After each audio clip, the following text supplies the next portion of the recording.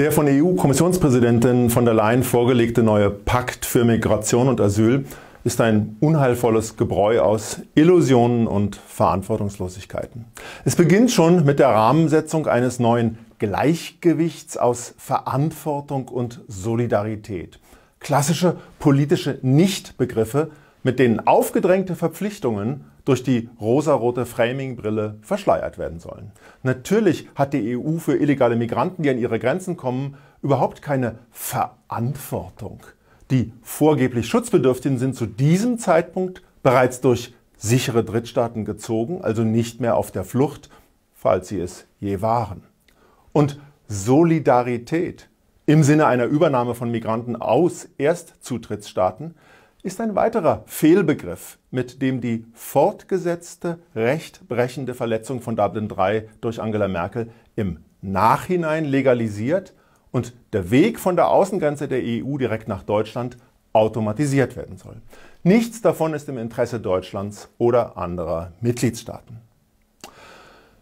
Nun, die Vorstellung, Fluchtursachen in den Heimatländern durch europäische Geldspritzen abzubauen, ist geradezu abenteuerlich unsinnig. Ein europäisches Sozialniveau wird dort sowieso nicht erreicht, hingegen aber werden nur mehr Reisemittel für die Schlepperwege geliefert. Auch wechselseitig vorteilhafte Partnerschaften mit Drittstaaten, wie es heißt, braucht niemand. Diese Staaten sind schon jetzt verpflichtet, ihre Bürger wieder aufzunehmen und gegen Schleuser vorzugehen. Das ist nicht erst mit erleichtertem Zugang zu Visa und Arbeitsgenehmigungen zu erkaufen, sondern im Gegenteil nötigenfalls durch Druck umzusetzen. Deutschlands bereits vielerorts bestehendes wirtschaftliches Engagement bietet dazu genügend Ansatzpunkte und kürzlich brachte etwa BAM-Chef Sommer hier auch noch Visa-Beschränkungen als Druckmittel ins Gespräch. Die EU gesteht nun also das Scheitern ihrer bisherigen, völlig ineffizienten Grenz- und Asylpolitik ein und zieht daraus die Konsequenz, eben dieses Scheitern in Gesetzesform zu gießen. In diesem Diktat aber des EU-Einwanderungskartells soll Dublin III und damit der letzte Rest deutscher Souveränität in Fragen der Grenzsicherung außer Kraft gesetzt werden. Eine verpflichtende Verteilung auf europäische Länder ist als bekannte Brüsseler Arroganz aber abzulehnen und im Übrigen aussichtslos. Die dafür beschworene Krisenlage, in der das dann greifen soll, ist natürlich Alltag an den EU-Außengrenzen.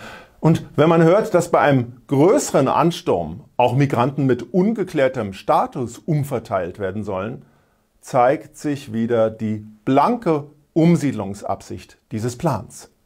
Und die Idee, dass Länder die keine Flüchtlinge aufnehmen wollen, für die Ausreise oder Abschiebung abgelehnter Asylbewerber sorgen sollen, die bekanntlich meist nicht klappt. In Deutschland haben wir deshalb schon einen Rückstau bei der Abschiebung von über einer halben Million Personen. Eine solche Idee kommt schon einer Verhöhnung dieser Staaten gleich. Denn dafür blieben ihnen acht Monate und gelingt die Rückführung dann nach acht Monaten nicht, sollen diese Staaten eben auf diesen Migranten dann doch schlicht sitzen bleiben. Was wäre zu tun? Alternativ müssten doch die Ursachen des Scheiterns der bisherigen EU-Grenz- und Asylpolitik behoben werden. Schluss mit der Auswahl des Sozialsystems durch einen Asyltourismus innerhalb Europas, etwa durch eigenmächtiges Außerkraftsetzen der Dublin-III-Regeln. Rückschiebungen in sichere Herkunftsstaaten und Anrainerländer der EU.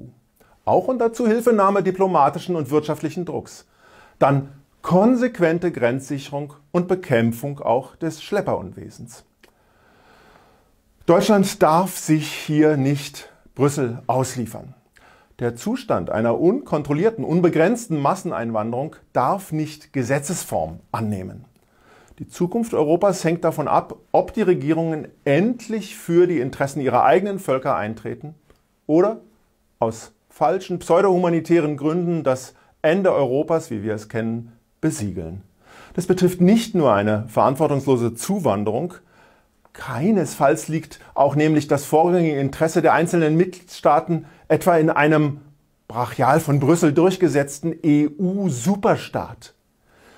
Der Plan von der Leyen zeigt die gefährliche und brutale antideutsche Grundhaltung dieser CDU-Politikerin, die sie ja bekanntlich mit der deutschen Kanzlerin teilt. Statt der berühmt-berüchtigten Merkelschen Legalisierung von Illegalität braucht es endlich eine Rückkehr zur Rechtsstaatlichkeit und eine entschiedene Besinnung auf die legitimen Interessen der Nationalstaaten, also gerade Maßnahmen aus dem Markenkern der AfD.